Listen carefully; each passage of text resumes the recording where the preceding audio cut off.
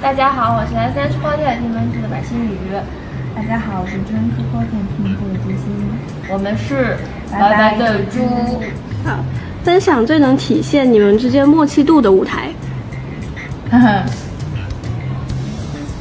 夏日回忆。没默契。分享最能体现你们之间默契度的舞台。夏日回忆。分享对方为你做过的最难忘的一件事。夏之回忆之后的，嗯，那那那他为你做过的呢？长沙一起去医院。分享你们之间最有趣或最浪漫的一件事。散步。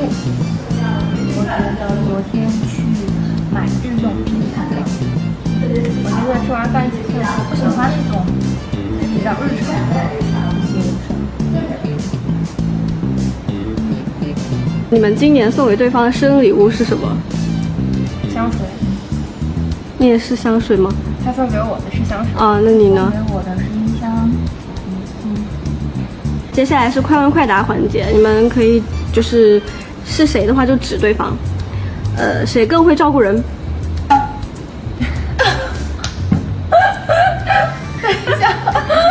不是这么难回答吗？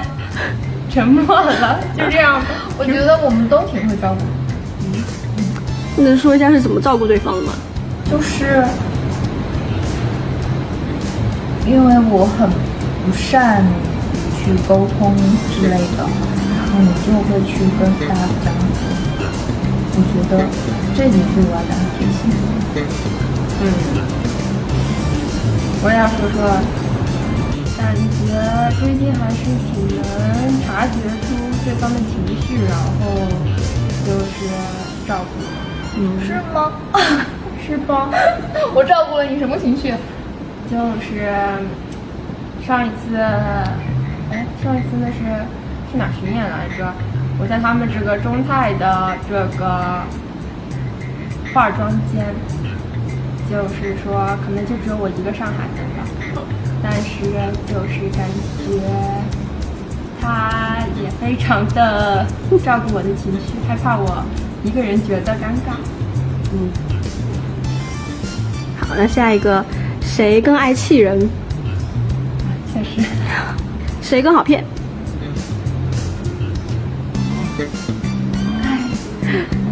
谁更爱臭美？